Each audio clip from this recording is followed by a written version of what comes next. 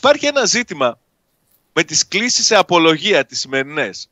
Για πες. Που ε, έχει κληθεί ο Πάουκ σε απολογία. Ναι, Πιο συγκεκριμένα έχει κληθεί σε απολογία για το παιχνίδι ΑΕΚ Πάουκ ναι. η διατροφολόγος του Πάουκ.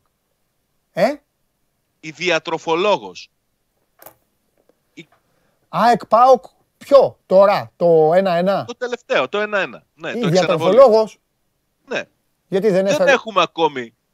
Δεν έχουμε ακόμη λόγο απολογίας. Ούτε από τον ΠΑΟΚ έχουν ενημερώσει γιατί τέλος πάντων κλήθηκε σε απολογία η διατροφολόγος που ακολουθεί την ομάδα. Φαντάζομαι ότι ήταν στον πάγκο, είναι ε, καθηγήτρια πανεπιστημίου στο, στο τμήμα φυσικής αγωγής. Καλά, αυτό δεν έχει να κάνει κάτι. Δεν Μήπως, ξέρω. μήπως είπε τίποτα; Δεν νομίζω. Και τη νομίζω γράψανε; ότι παρουσία θα είναι και κάτι τέτοιο. Εκτός και αν είπε κάτι. Εντάξει, άμα είπε κάτι θα αποθεωθεί έτσι.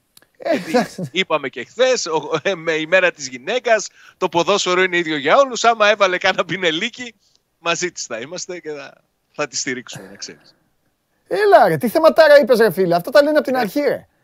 Έλα, να κάτσουμε να ασχολούμαστε δηλαδή όλη την ώρα. γιατί ωραίο θέμα είναι. Ε, τι να λέμε συνέχεια Καλά, ρε φίλε, έχουν ποιος θα παίξει αρχίσει. αριστερό μπακ και ποιος θα παίξει Ε, δεξί ή έξτρα Έχουν είναι τώρα; αρχίσει τώρα, ξέρεις, Έλα. οι συζητήσεις γιατί κλείθηκε σε απολογία.